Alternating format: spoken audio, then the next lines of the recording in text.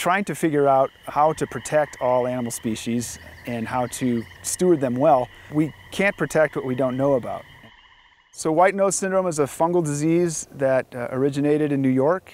It's progressing west, so it's a fungus that grows on these bats and it causes them to arouse from hibernation. And so they're waking up hungry and they'll emerge in the winter when there's no insects flying around and there's nothing for them to eat and they've run out of their fat reserves and so they do uh, they do die from starvation and it's been devastating to the populations of these different bat species uh, in the eastern United States.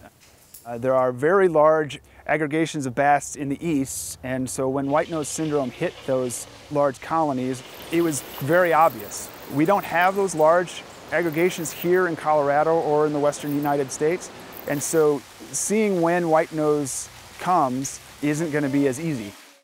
We're working in the Yampa Valley near Steamboat at uh, a couple different roost sites uh, looking at where the little brown bats uh, have their young, so these maternity sites. Part of the tagging process uh, is injecting a small pit tag and they're about the size of a grain of rice. It basically gives a unique number to each bat that can then be followed over time. We can see when the bats come and how their population levels are doing and how they're surviving year to year.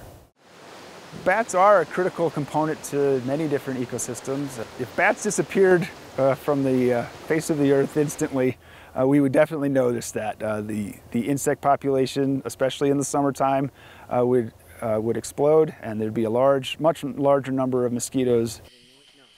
So, consider myself pretty fortunate to work with these uh, species. They're very unique creatures that are part of uh, Colorado's uh, natural heritage.